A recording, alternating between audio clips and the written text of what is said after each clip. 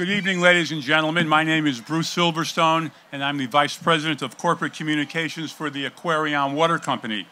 And this evening, we have the good fortune to join together to celebrate the Aquarion Environmental Champion Award winners. Some of you may not be aware that our search for environmental champions is truly a statewide program. The importance of this award helps frame the many people and organizations who accomplish so many, so many vital and environmentally sustainable tasks. At Aquarion, we take environmental stewardship very seriously, and we know others do throughout the state as well. And so this evening, we will recognize some of our true environmental leaders for the many great things they accomplish. We will present awards in four categories large business, nonprofit, adult, and student. Now I have the honor of introducing our first presenter, Vice Chairman of the Public Utilities Regulatory Authority, Commissioner Jack Betkoski. The Commissioner has served on Connecticut's Utility Regulatory Authority since 1997. When PURA was established in 2011, he was appointed a director by Governor Malloy and elected vice chairman. He also serves as president of the New England Conference of Public Utilities Commissioners and is on the executive committee of the National Association of Regulatory Utility Commissioners. The commissioner is currently chairman of the Connecticut Water Planning Council. Locally, he is extremely active. He is past chairman of the board of directors of Griffin Hospital, and he served as chairman of the board for Connecticut's chapter of the National Multiple Sclerosis Society. He is on the board of the Waterbury Youth Services and a member of the advisory board of the Salvation Army in Waterbury. He received his BA from Sacred Heart University and his master's and six year degrees from Southern Connecticut.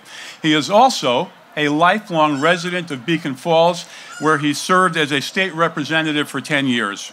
Folks, this is a gentleman who gives his time to many, many organizations, and we are fortunate to have him here with us this evening. Ladies and gentlemen, Commissioner Jack Betkoski.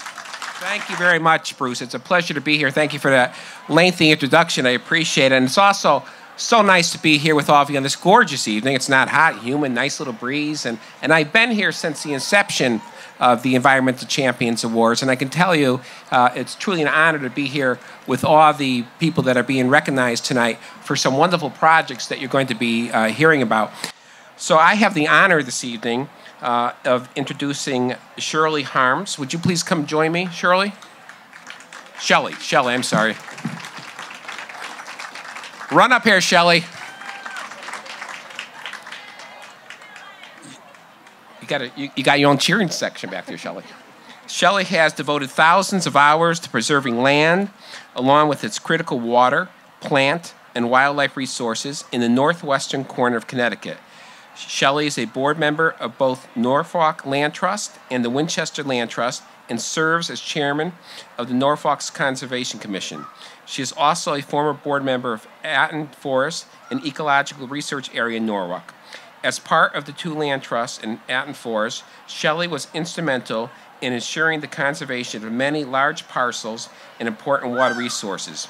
These include Winchester's 280 acre Albrecht Woods Herbert Field Preserve and Norfolk's 311 acre Pine Mountain uh, Preserve. That's over almost 600 acres of land that uh, Shelley was instrumental in preserving.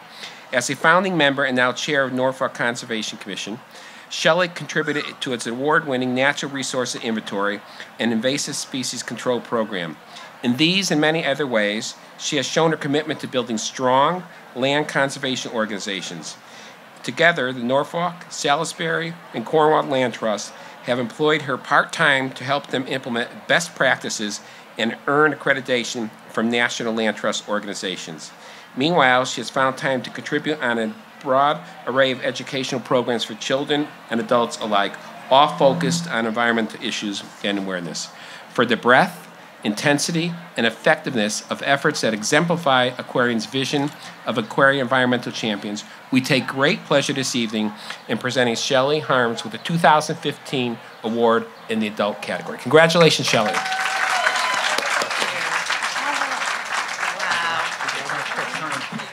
Thank you, Commissioner, and thank you so much, Aquarion.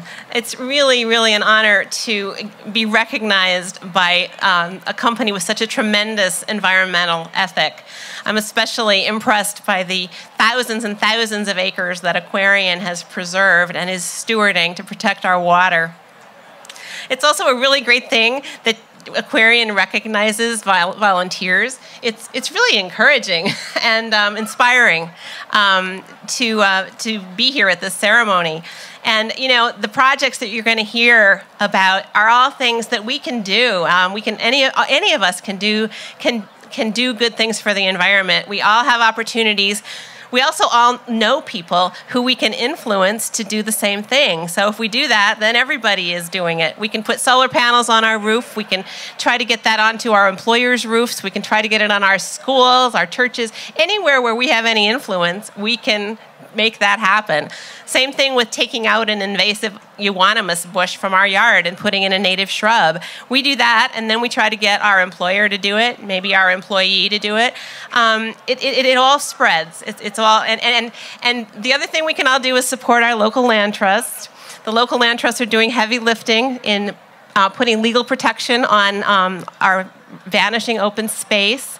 And um, especially in the northwest corner, I know that the opportunities for conservation are huge, while the, the dollars available are not so huge. So um, I guess I just want to say, you know, if you wouldn't be here if you weren't a friend of the environment. So, you know, let's just keep doing what we're doing, whatever we can, wherever we can, and whenever we can. Thank you.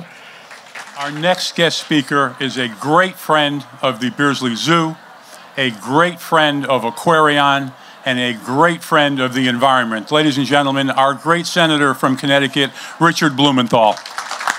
I'm particularly pleased to be here this year with uh, two of my colleagues in public service. Michael Tetreau is doing a great job as first selectman of Fairfield, and uh, my very, very good friend Jack Betkoski of the uh, what what's the name now of that? Uh, anyway, he's a he's a great consumer advocate and a friend of the environment. I want to just for one minute say how grateful I am to Aquarion. This environmental awards ceremony reflects the company's commitment to environmental values.